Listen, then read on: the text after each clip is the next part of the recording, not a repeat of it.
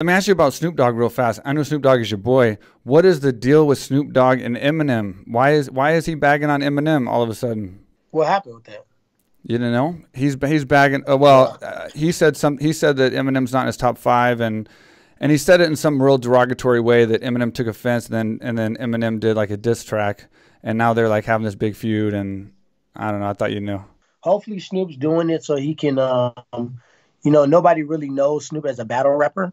And um, I think when you get to the point of millions of records sold, you become an iconic figure, you, you're a household name, and you know Deez Nuts and doggy style, and you know what I mean, gin and juice, everything is really, you know what I mean, really coined to Snoop Dogg. So he may be looking for a legacy push, something else that gets him motivated. He may not like he. I was talking to the other day when I was in um I was in LA, and he literally had a notepad just like with random verses. He got I got to do a verse for this person. I got to do a verse for this. I got to do a verse for this person. So I think if Eminem comes after you, just being the lyricist that he is, I would be flattered. MGK when he came out to MGK, that was like a blessing in disguise. You know what I mean? Yeah. Eminem is like an iconic figure when it comes down to being one of the best lyricists ever. You right. know what I mean? White, black, green, purple. He can fucking rap. He, yeah. He's a wordsmith and he he can fill bars with so many different meaningful words. Not like just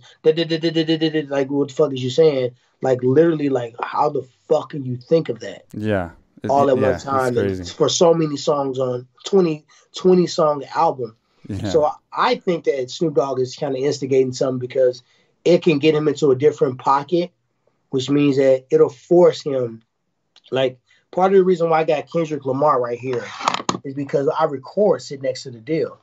I'm not gonna ever rap like Kendrick Lamar, but when I'm sitting in my little stool, it's gonna it's gonna it's gonna make me accountable to to be less likely to let the verse end or start with some bullshit. If that makes sense. Yeah. You know I mean, sense. so I think that's kind of what Snoop is doing. Like what like what beef could he really have with Eminem? Like he Snoop is a real street dude from the street. Like I doubt if he cares about some lyrics.